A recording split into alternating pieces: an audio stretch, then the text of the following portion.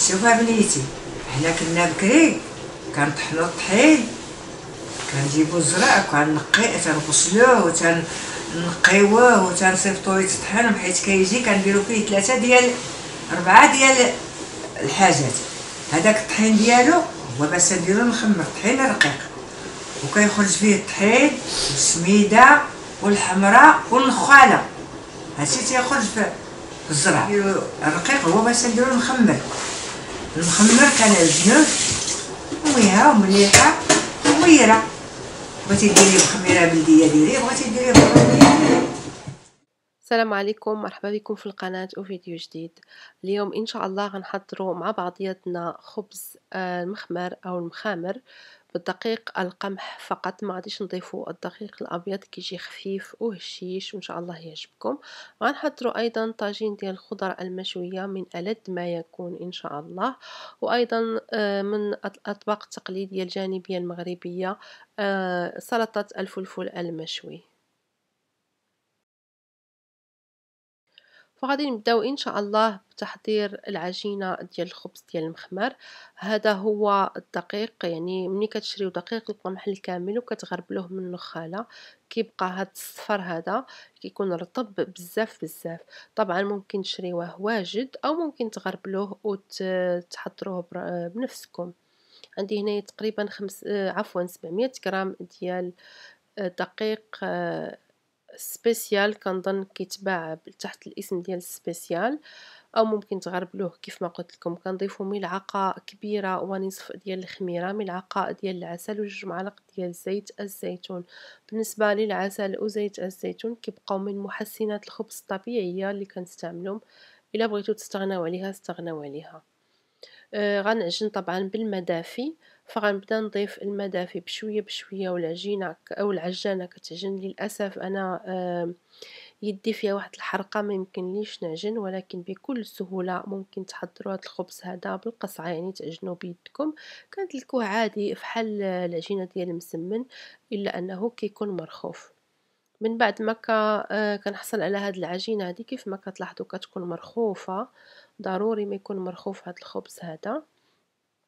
أيضا خصو تدليك بزاف. أنا تقريبا شغلت هاد العجانة هذه لمدة آه، ديال 17 دقيقة وهي كتعجن من البداية إلى النهاية. في الأخير كنضيفوا الملح شوية ديال الماء وكنزيدوا واحد الدقيقتين ديال العجن.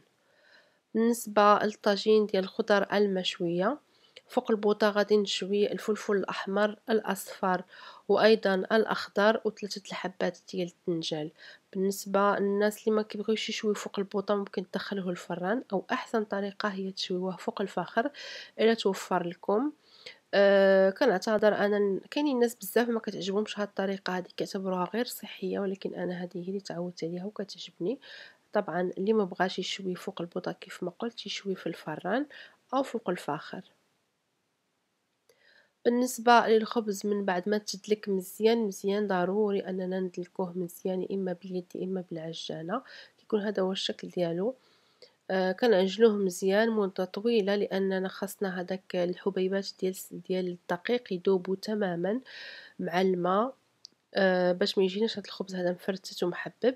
فكنعطيوه دليك مزيان مزيان. باش كيدوب هذاك الدقيق وكيجينا بحال إلا معجون بالدقيق الأبيض وهو طبعا بدقيق القمح. فغنحط العجينة فوق سطح العمل وغنستعين بشوية ديال الدقيق لأن العجينة كتلصق. دائما يا إما ندهن يدي أو سطح العمل بالدقيق وغنشكل هاد الخبيزات هادو. اليوم إن شاء الله غنعمل خبيزات كبار مع أنني عادة كنفضل خبيزات صغار ولكن دابا غنعملهم كبار باش باش نزرب دغيا.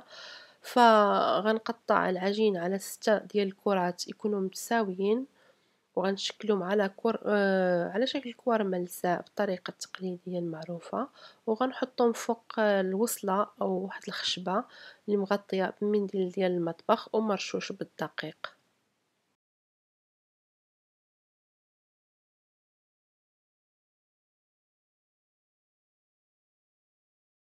من بعد ما كملت القطع ديال العجين كاملة يعني شكلتهم على شكل كرات وحطيتهم فوق الوصلة غنبدأ نبسط هاد الكرات هادو على شكل خبيزات.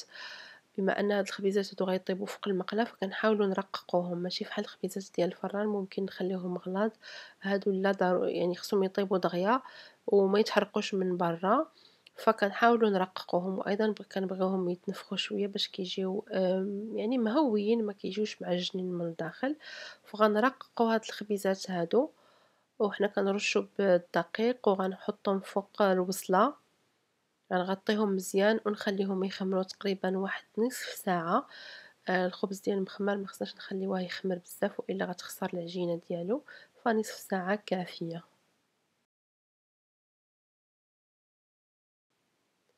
من بعد ما تشوات جميع الخضار غن آه، طبعا غطيتها عملتها في واحد القدر أو واحد البول وغطيتها بالبلاستيك الغذائي وخليتها حتى آه، صبحت بحراره المطبخ. وطبعا هذا كيساعد على أنها كتقشر بسهولة. كنبدأ بالجهة الحافية ديال الموس. كنقشر القطع الكبيرة ديال آه، ديال الفلفلة. هذه هي الخطوة الأولى من بعد كنمسح هذاك هذيك الخشبة كنمسحها ومن بعد كنعاود آه، نكرط الفلفلة ونحيد آه، العظومة اللي لداخل أو الزريعة اللي داخل عفوا وأيضا هذوك هذوك القطع البيضاء. كنحاولوا نحيدو القشرة كاملة اللي مشوية وكنخليو فقط الفلفل. بالنسبة للطاجين عندي غنستعمل طاجين ديال الطين. عندي جوج حبات ديال الطماطم اللي قشرتهم حيدت لهم الزريعة وقطعتهم قطع صغيرة. ثلاثة الحبات ديال الثوم اللي محكوكين أو مقطعين قطع صغيرة. غنتبل بالملح الفلفل الأسود الكمون آه، التحميرة آه، الخرقوم وأيضا الفلفل الحار المجروش أو السودانية. بالنسبة للكمية نقولو تقريبا نصف ملعقة صغيرة من كل شيء. وزيت الزيتون حنا عارفين أن الطياب التقليدي اللي فحال هكدا كي كيبغي زيت الزيتون فأنا غنضيف شوية مازال. خصوصا أن الطاجين باقي جديد شوية فكيشرب الزيت. بالنسبة للفلفل نص ديالو غنستعملو في السلطة ونصف غنستعملو في الطاجين. فعندي هنا واحد الحبة ديال الفلفل الأحمر قطعتها قطع صغيرة جدا. الفلفل الأخضر غنقطعو هكدا بالطول ومن بعد غنعاودلو تقطع باش يتقطع قطع صغيرة جدا. إلا بغيتو تحيدو هادوك الزريعة اللي لداخل ممكن تحيدوها كاملة أنا ما كتزعجنيش. فكنحيد الأغلبية ولكن إلا بقات شوية ما يعني ما فيهش شي ما فيهاش شي حاجة عندي عادي. بالنسبة للدنجال حتى هو شويته فوق البوطة كيف ما شفتو قشرته مزيان. ومن بعد كيف ما كتلاحظوا يعني دخلوا الطياب طايب من الداخل ماشي خضر غنقطعو قطع صغيرة. وحتى هو غنستعملوه في الطاجين طبعا.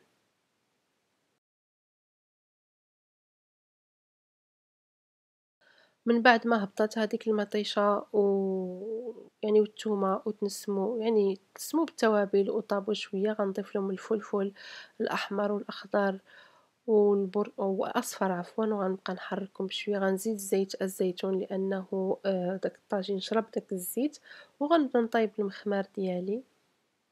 سخنت المقلاة ثقيلة فوق نار متوسطة دهنت بشوية ديال الزيت فقط في الأول وغنبدا نطيب هاد الخبز هذا يعني كنحطوه كنحسبولو تقريبا عشرة ديال الثواني غير كيجمع راسو لتحت وكنقلبوه منخليوهش بزاف كنبقاو نقلبو فيه هكذا حتى كيتحمر مزيان وكنحسو به طاب وتنفخ.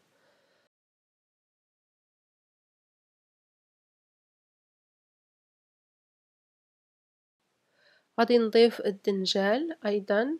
وغنبدأ نحرك طبعا و الا حسيتو بأنكم ما ضفتوش آه، العطرية كفاية ممكن تزيدوا في هذه المرحلة هذه وما نساوش الخبز ديالنا نبقاو كل شوية نقلبوه حتى يبان طاب وتحمر.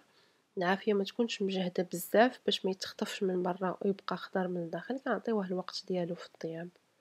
هنايا ضفت شوية القزبور المعدنوس مقطع قطع صغيرة. وأيضا إلى توفر الحامض الحامض مصير كنضيفو أو الحامض مرقد كنقطعو قطع صغيرة ونضيفوه إلا ما توفرش. نعملو واحد العصيرة هكذا خفيفة ديال الحامض. بالنسبة للسلطة ديال الفلفل المشوي غنحك واحد الحبة ديال الثوم والعصير ديال نصف حامضة بلدية إلى توفرات والملح طبعا وزيت الزيتون. وغادي نحرك مزيان مزيان حتى تذوب لي الملحة في الخليط. وغادي نضيفو فوق الفلفل المشوي اللي قطعته قطع صغيرة ممكن تعملوا فقط الفلفل المشوي ممكن تقطعوا في حالي أنا غنقشر واحد الحبة ديال الطماطم وغنحيد لها الزريعة وغنضيفها للسلطة. آه هنايا آه غنقلي شوية ديال الكفتة في الحقيقة أنا ما كليتهاش اكتفيت بطاجين ديال الخضر بما أن اليوم عندنا الضيفة فالوالدة ديالي بغات تقدم شوية ديال اللحم هكذا كطبق جانبي فكان هذا هو السبب ولكن أنا في الحقيقة بالنسبة لي الطاجين ديال الخضر كافي. هذا هو الشكل النهائي ديالو. آه زينته بشوية ديال الحامض انصير وشوية ديال القزبور.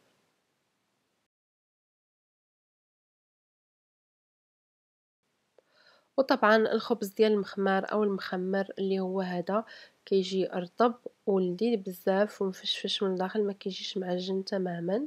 وهذا هو الغداء ديالنا. آه كنتمنى تجربوا هذا الطاجين هذا. واخا هو من المطبخ التقليدي يعني الطبق معروف كنتمنى تجربوه ويعجبكم. إلى عمركم ما جربتوه. وطبعا السلطة الفلفل المشوي هي من الطبق المغربي من الأطباق التقليدية القدام. الخبز ديال المخمار اللي قالت لنا عليه مي سعيدة هو هذا. راه هذاك ماشي غليظ راه هو خاوي من الوسط من الوسط. كنتمنى إن شاء الله تجربوا هاد الوصفات هذه وكنتمنى يكون الفيديو ديال اليوم عجبكم واستفدتوا منه. كنقول لكم شهية طيبة وإن شاء الله نتلاقاو في الفيديو القادم. السلام عليكم.